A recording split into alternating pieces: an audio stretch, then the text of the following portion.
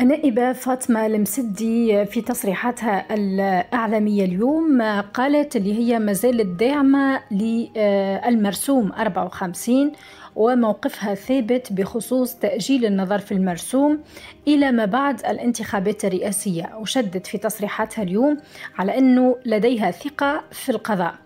وبخصوص الشكاية على معنى المرسوم 54 اللي تقدم بها رئيس الهيئة العليا المستقلة للانتخابات ضدها وضحت المسدي آه، في تصريحها اليوم أنها تتوقع تعامل النواب باحترافية مع طلب رفع الحصانة عنها بسبب هذه الشكاية وأضافت المسدي أنها تحدثت عن هيئة الانتخابات في مراسلة وجهتها إلى رئيس الجمهورية واللي هذا يعتبر عمل نيابي وشددت على أن هذه القضية لا تندرج في إطار التشهير أو العنف أو جريمة انتخابية بل هي مجرد نقد موجه لهيئة الانتخابات وإذا تمت معاقبة نائب على نقد فهذا سيطال الجميع حسب تعبيرها. من جهة أخرى حكيت على بعض النقاط الأخرى وقالت بأن مشروع قانون الجمعيات غايته الحد من التمويلات الأجنبية المشبوهة أشارت إلى أن هناك مجموعة من النواب فعلوا المستحيل لتعطيل مشروع القانون حسب تعبيرها. وضحت زيدا وقالت إنه باش يتم اليوم عقد جلسة استماع إلى ممثلي المجلس البنكي والمالي بخصوص مشروع قانون الجمعيات وأشارت إلى إنه البنك المركزي قال إنه ليس المسؤول عن متابعة تمويل الجمعيات وإنما الأمر يندرج ضمن اختصاص البنوك. وأكدت المسدي ان هناك نواب شعب يمثلون الجمعيات أكثر من تمثيلهم للشعب حسب تصريحها كما شددت على إنه الحكومة بدورها غير متفاعلة مع مشروع القانون. ووضحت نائبة فاطمة المسدي أن هناك جمعيات تتحصل على تمويلات بالمليارات وهناك جمعيات أخرى مشبوهة تعاملت مع الدولة التونسية في وقت ما. كما أشارت إلى أن مشروع القانون لن يحد من عمل للجمعيات بل سيعمل على تنظيمها حسب تعبيرها.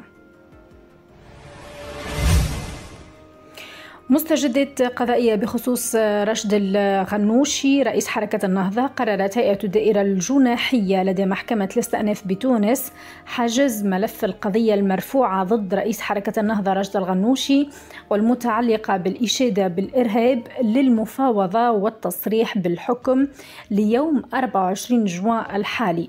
يذكر أن القضية عادت من محكمة التعقيب التي كانت قضت بالنقض والإحالة بخصوص حكم استئناف في مطعون فيه قضى بسجن الغنوشي مدة أكثر من عام واحد مع خضوعه للمراقبة الإدارية بعد تنفيذ العقوبة السجنية.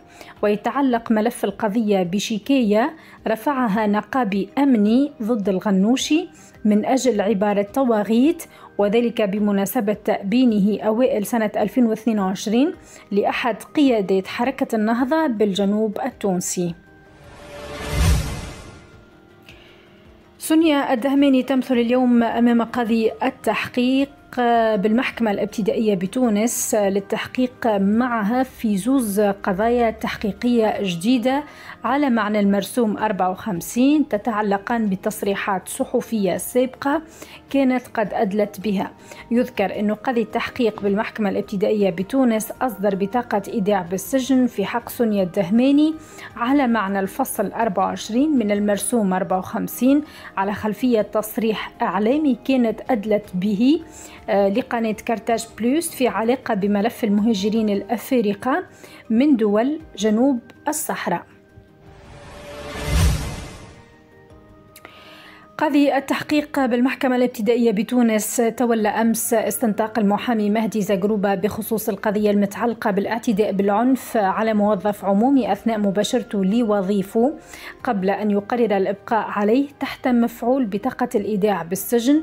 الصادرة في حقه يذكر أن قاضي التحقيق بالمحكمة الابتدائية بتونس كان أصدر بطاقة إيداع بالسجن في حق مهدي زغروبة وذلك على ذمة الأبحاث المت متعلقة بترويج تسجيل فيديو داخل مقر قصر العدالة بالعاصمة أثناء احتجاج زغروبة على تواجد أمنيين داخل مقر المحكمة الابتدائية بتونس.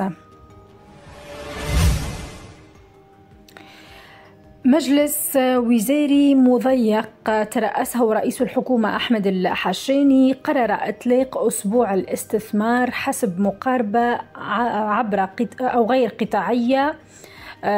خلال الأسابيع القادمة. وأكد الحشاني خلال المجلس آه، ضرورة إيلاء الأهمية اللازمة للاستثمار من أجل خلق الثروة والمساهمة في دفع عجلة الاقتصاد مما يتطلب ضرورة تبسيط الإجراءات لجلب المستثمرين الأجانب.